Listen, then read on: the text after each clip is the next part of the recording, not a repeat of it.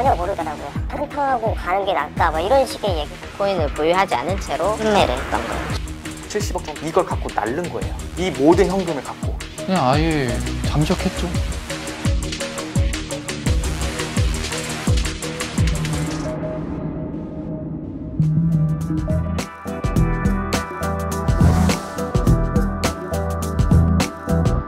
아 진짜 진짜 시청자 여러분께 사과드립니다. 프로그램 어렵게 만들어서.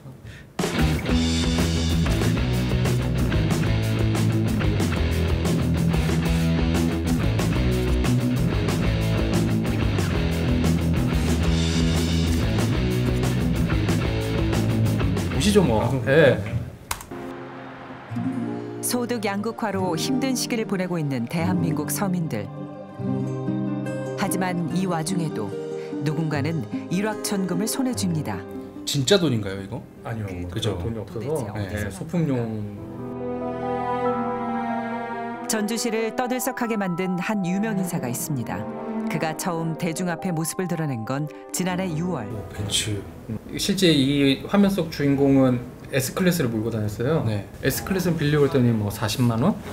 아 예, 그래서 돈이 없어가지고 C 클래스. 금팔찌 뭐 한 2천만 원짜리 차고 오고 해가지고 자기는 뭐 돈 찍어내는 ATM기다. 코인으로 부자했다. 너희들도 솔직히 돈을 벌고 싶으면 코인밖에 답이 없다. 언제부턴가 벼락 부자가 된 이들은 가상화폐 덕을 봤다고 말합니다.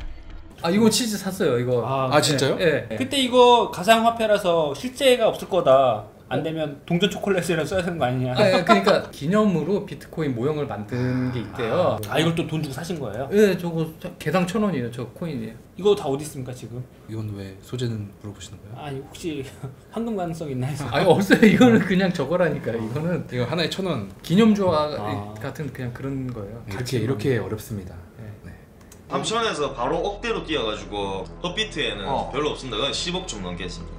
이분들은 누구예요? 아프리카 TV에서 방송을 하는 분들인데 이거는 이제 페미넴이라고 해서 막 클럽 강남 클럽에서 이렇게 어. 현금을 실제로 코인으로 돈을 버셔서 하시는. 그게 확인이 안 돼요. 다른 여러 매체에서 추적을 해봤는데 오히려 투자자를 모으기 위해서 일부러 이렇게 뿌리는 경우도 그랬을? 수도 있는데 진위업으로 확인이 안 되더라고요.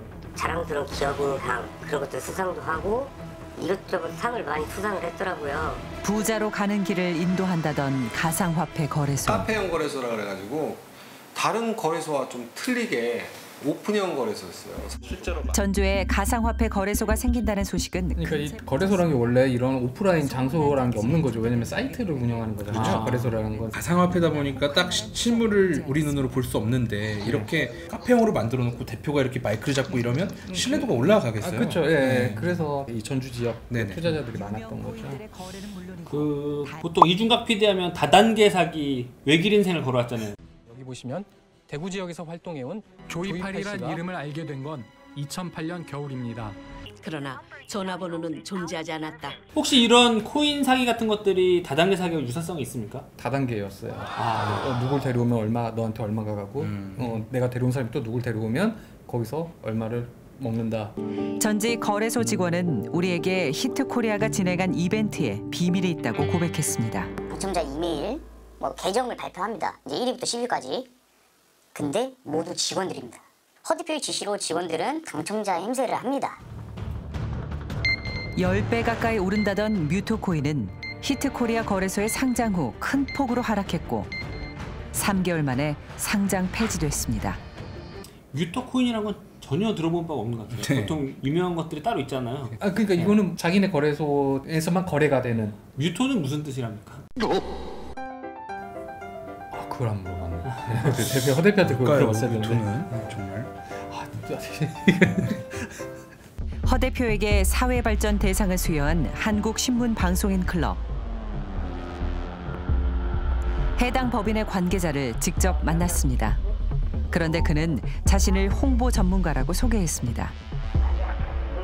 코인에서 몇 개를 내가 이렇게 좀 해준 적이 있어요. 그냥 그 강남도 큰데도 나는 이제 홍보를 전문가고. 무슨 상 받았다 무슨 상 받았다고 하는 게 아니 그건 어려운 게 아니다. 그러니까 그건 어려운 게 아니라 그랬잖아. 동문 등에게는. 그러니까 여기는 뭐냐면은 대한민국 사회발전 대상이라는 상을 주관하는 단체거든요. 그래서 한번 만나봤어요. 국회 상임위원장상도 받을 수 있다는 거예요. 자기를 통해서. 이런 것들이 좀 경각심을 좀 가져야 되겠어요. 이런 상들이 네. 있다고 해도 무조건 신뢰 근거로 삼습니다. 근데 우리 의원님이나 그 단체하고는 우리하고 관계없고 관계없고 관계없고 그러니까 국회의원도 그냥 명예만 빌려줬다는 거잖아요. 피해자들은 수소문 끝에 거래소를 찾았습니다. 폰에 교차 맞아요. 어느 거 저기. 네, 네, 저거 맞는 것 같아요. 저 사진을 그때 그 뭐야? 근데 이 대표를 여기서 만날 수 있을지는 전 생각 못했어요. 저희는. 네. 우리는 코인을 샀단 말이에요. 아니 그만 얘기하세요. 그 코인을 줘야지. 그거 내 거잖아요. 그걸 강제 하는 하시라고 건 그러니까 왜 저한테 화를 아니 내요? 내 것을 얘기하는 거예요. 누구의 판단으로 판단으로 정식으로 저한테 우리 회사를 전화를 하던 해서 일정 잡아서 오세요. 이 씨는 직장 생활하며 모아둔 돈 천만 원을 잃었습니다. 허 대표의 말을 믿고 3개월 동안 투자한 대가는 혹독했습니다. 월급쟁인데 3개월 동안에 그 천만 원이라는 돈을 거기다 집어 넣었는데 한동안 경제적으로도 힘들고 지금 그래서 여기도 지금 이사를 가려고 여기보다 작은 집으로 이사를 가려고 하는 것 이유도 그거거든요. 당장 살던 집을 내놓고 변두리로 이사 여기 그 화려한 코인들과 그 동전들의 그 대비 일부러 좀 약간 연- 의도하신 그런 이런 거 알아주면 좀 약간 고, 고맙지 않아요? 네. 이번 이번 달부터는 이번 달 말일 날부터 출금해서 나가자. 왜 우리도 돈 들어올 때가 있으니까. 그래서 지- 진행하고 있고. 그 약속은 지켜졌을까? 계세요. 보다가 이제 신고할 뻔했어요. 이건 업무방해나 지금 주거침입 아닌가 저런 분이 또 나오거든요. 여기서 아 이런 모습 이런 모습. 예. 어, 인상 굉장히 어, 예. 아니, 햇볕이 강해서 제가 그쵸 그쵸 또, 그렇게 예, 이해를 하고 예, 있어요. 햇볕이 강해서 한참 더울 때잖아요. 또. 예. 예. 무서워서 안 나오는 것 같은 느낌이죠. 아, 아유, 이렇게 인상 좋은 어디 있어요? 아이패드가 일- 그러고 보니 일수 가방처럼 예, 보이네요. 그렇죠.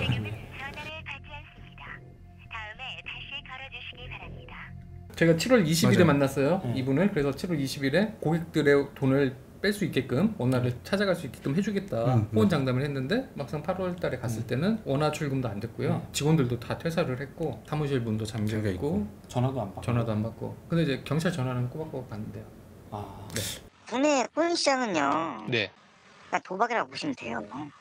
여기는 하루아침에 일어나면 몇백 배, 몇천 배가 튀어 있고 그거는 전부 다 누군가가 잃어야지만 그 돈을 받아갈 수 있는 투기판인 거죠. 예를 들면 유사수신이나 방문 판매나 조직 폭력배 이런 사람들이 업계에 많이 진출해 있습니다. 심지어는 거래소가 아닌 다른 어떤 금융이나 이런 걸로 인해서 돈을 많이 잃어가지고 신용 불량자가 된 사람도 이 거래소를 실- 설립하는 경우도 있어요. 신용 불량자였던 사람들이 거래소에서 모금을 통해 가지고 자기 눈앞에 한 100억이 있는데 그걸 과연 가만 놔둘까요? 전 그런 생각이 들어요. 이거 고양이 앞에 생선이 아닌가. 그러니까 자격 요건이건 뭐건 전혀 없어요 국내에는. 왜냐면 아, 내가 차리겠다 하면 네, 차릴 수 있는 거다. 누구나 만들 수 있어요. 이렇게 인터넷 검색만 해보셔도 거래소를 셋업해주는 업체들이 많아요. 아 거래소 셋업까지 해주는 네네. 개발업체. 네, 개발업체들이 많아요.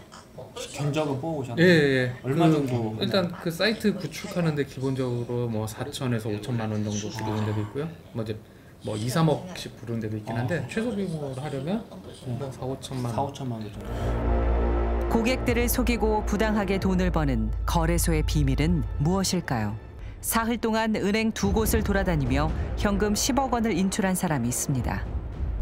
실명 확인 가상 계좌를 이용할 수 없는 대다수의 가상화폐 거래소는 모든 투자금과 예치금을 법인 계좌로 받습니다.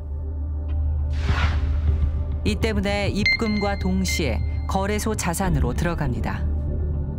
그 소위 말하는 벌집 계좌라고 하는 건데요. 그 벌집 계좌는 법인 계좌를 이렇게 밑을 쪼개놨다고 보면 되기 때문에 그 벌집 계좌로 들어간 돈의 소유권은 법인으로 넘어갑니다.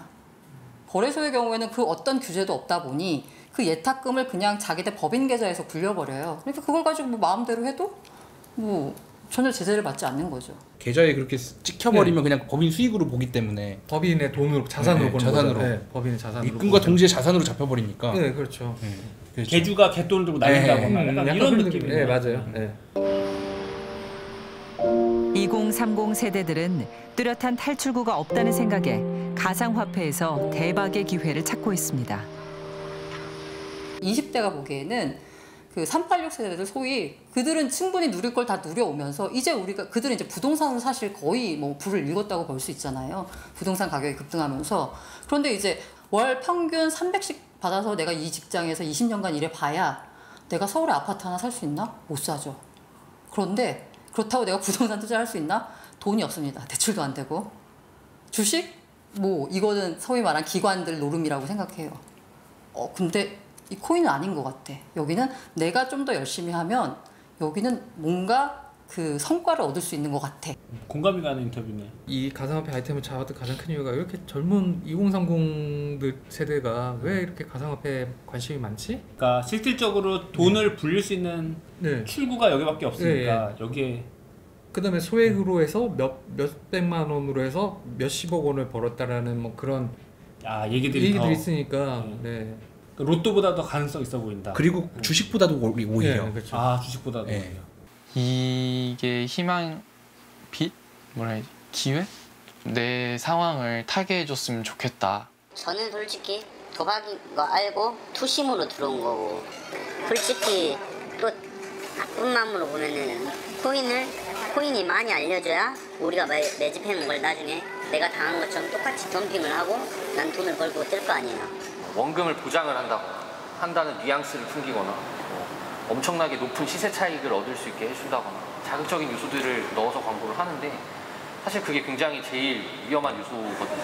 올스타 비상 출근 금지. 손 놓고 방관하는 사이 거래소의 사기 수법은 진화했고 피해자의 고통은 더욱 늘었습니다.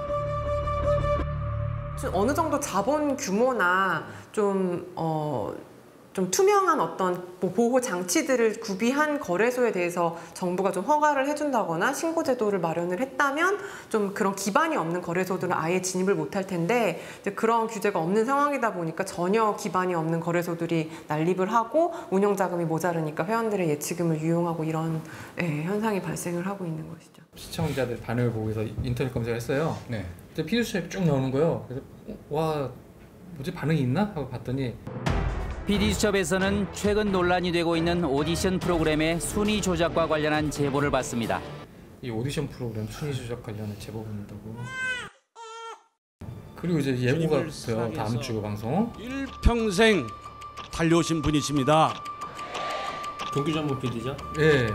이분이 학부에서 정교학을 전공을 했죠. 어떻게 80대 노인이 그 목사람자가 20대 여성 그 여성분이 성막교회를 다니셨어요? 그렇죠. 모태신앙이죠. 충성대자의 자녀를 건드렸다라는 게 어떤 있을 수 없는 일이죠. 목사님 호텔 왜 가셨습니까? 아, 아, 아, 예, 예, 진짜 예. 저 저렇게 담당 PD가 끌려가는데 예고 딱 붙이는 순간 아 기다려보는 거예요. 뇌로